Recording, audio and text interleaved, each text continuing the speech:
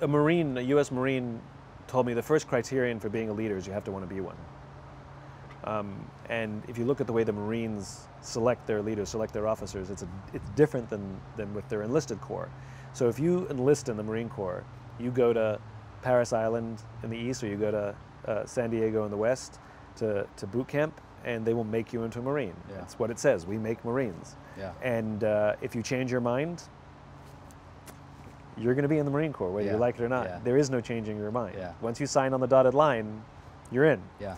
In the officer corps, it's different. If you want to be an officer in the Marine Corps, you go to OCS in Quantico, Virginia, um, and uh, uh, it's a 10-week training, and uh, you only have to stay in the first four weeks. Uh, for the next six weeks, you can drop out at any time for any reason. Yeah. Um, and the reason is, is because if you don't want to be a leader, they don't want you. Yeah. They give you the choice.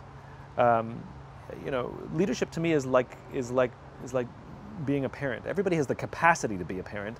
Doesn't mean everybody wants to be a parent and everybody should be a parent. Right. Leadership is the same. Everybody has the capacity. Yeah. Doesn't mean everybody wants it and doesn't mean everybody should. Yeah. It comes at great personal sacrifice.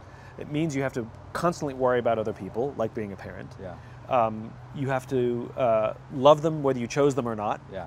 You know Yeah. uh, your team. Uh, and, uh, and there are skills to being a parent. And everyone who's ever had a child starts reading books when they find out that they're pregnant for the first time. Oh, yeah. You know, uh, they start asking their friends, they start asking their parents for advice, and it's constant. You know, whether the kid's struggling at school or struggling at home or having a good time. There's, it's all the, you know, it's like I, I hate hanging out with my sister and my brother-in-law when they're with their, their other friends who have families, because all they talk about is kids. Yeah.